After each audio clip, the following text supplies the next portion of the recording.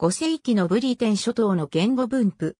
青がピクト語、緑がゲール語、赤がブリソン諸語。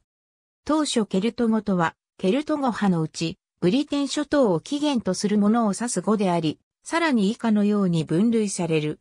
当初ケルト語の名はこれらの言語が古来からブリテン諸島で話されてきたことに由来する。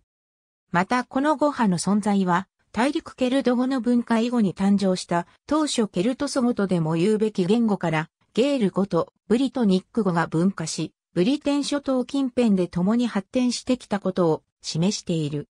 この語派を想定する際には、当初大陸、ケルトの区分が P 級ケルト語の区分と一部重複することが問題となる。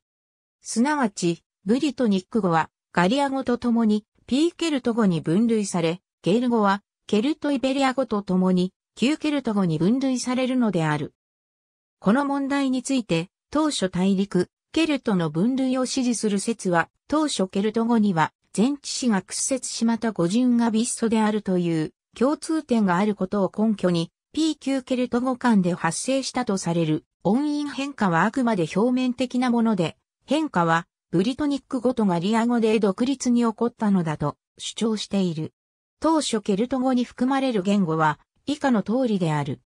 ホマーストルーム、ハラルド・フォーケル、ロバート・ハスペルマート、マーチン・ et al.、eds.、Insular Celtic、Glottolog 2.7、イエーナ、 Max Planck Institute for the Science of Human History http コロンスラッシュスラッシュ glottolog.org スラッシュ resource スラッシュ languoid スラッシュ id スラッシュ insu1254 ありがとうございます。